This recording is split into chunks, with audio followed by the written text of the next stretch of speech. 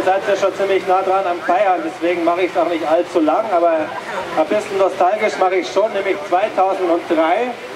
Da standen wir am Marienplatz mit Hans-Christian Ströbele und das kann ich schon sagen, das war damals der erste Hanftag, der veranstaltet worden ist. Jetzt gibt es eine Reihe von Hanftagen in ganz Bayern, das ist schon mal ein Fortschritt und dafür möchte ich euch wirklich danken, dass ihr das Thema hochhaltet und dass es jetzt wirklich weitergeht. Vielen, vielen Dank, dass ihr das macht. Das ist super.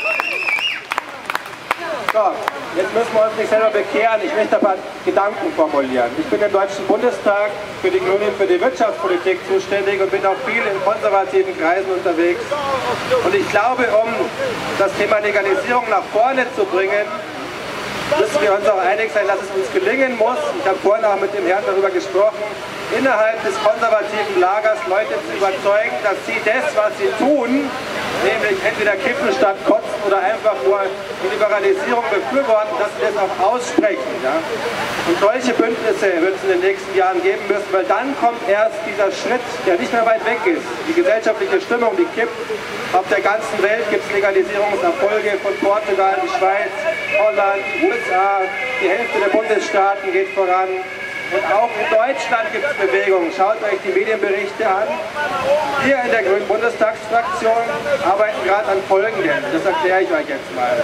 Es wird in wenigen Monaten den ersten umfassenden Legalisierungsgesetzesentwurf geben, der nicht nur sagt, wir wollen Cannabis legalisieren, sondern der sagt, wir wollen in allen Bereichen Regelungen treffen, wie die Abgabe stattfinden kann, wie wir die gesundheitliche Aufklärung vorantreiben, wie wir übrigens auch Cannabis besteuern werden, wenn es dann legal ist. Ja? Und wisst ihr, was das für Einnahmen sein können?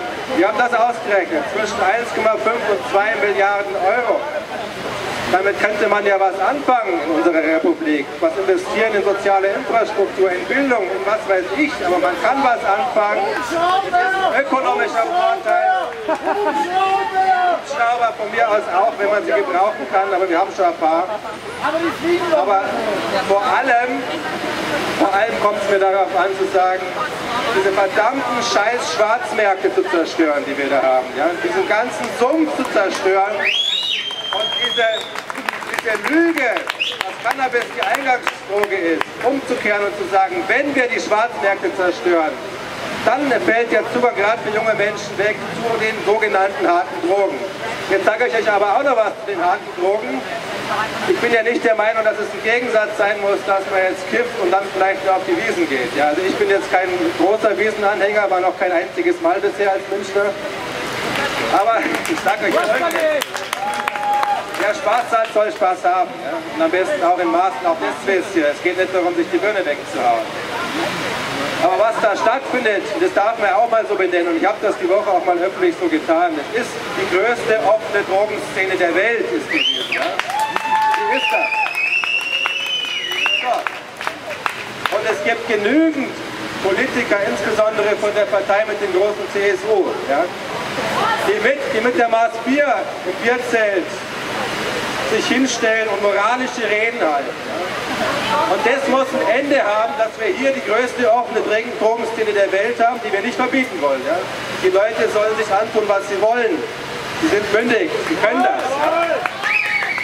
Aber diese Verlogenheit, dass ich das dann hier glorifiziere und in Nordfranken bei 0,01 Gramm Ende haben und das muss ein Konservativer verstehen, dass das nicht mehr gerecht ist. Also da müssen wir ansetzen und wir werden uns jetzt in der parlamentarischen Arbeit einfach mal mit einem umfassenden Gesetzesentwurf, der alle Bereiche regelt, ich glaube, wir haben dann die 80 Seiten zusammen, in die Debatte schmeißen, über den sachlichen Ansatz. Da kommen wir an die Leute ran. Es tut sich was in der Öffentlichkeit, es tut sich auch was in den Medien, auch in den Köpfen vielen geht es nicht mehr im Kopf rum, warum man sowas kriminalisieren muss und ansonsten die moralische Keule schwingt. Und da bitte ich euch einfach Druck zu machen, auch uns Grünen Feuer unterm Arsch zu machen. Auch wir haben schon manches versprochen, was wir nicht eingehalten haben, das weiß ich sehr wohl. Das weiß ich sehr wohl. Aber ich glaube, die Zeitenwende, die ist nicht mehr weit weg. Und jetzt müssen wir einfach mit allen breites Bündnis schließen, dass was vorangeht, das endlich das Ende hat. Und dass es dann von mir aus nicht nur heißt Kippen statt Kotzen, sondern einfach eine bündige Gesellschaft, die Recht auf Rausch hat, die damit weiß umzugehen und keine Stigmatisierung mehr von Einzelnen aus ideologischen Gründen heraus. Ich danke euch, wünsche euch ein schönes Fest und ich freue mich, euch dabei sein zu können. Vielen Dank.